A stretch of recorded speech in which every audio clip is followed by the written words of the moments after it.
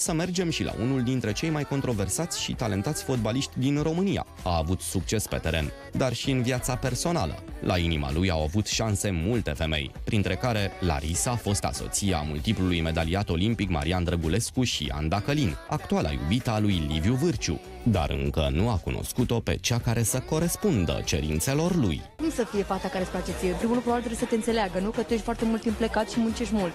Da, normal, trebuie să fie înțelegătoare și restul genul ăsta.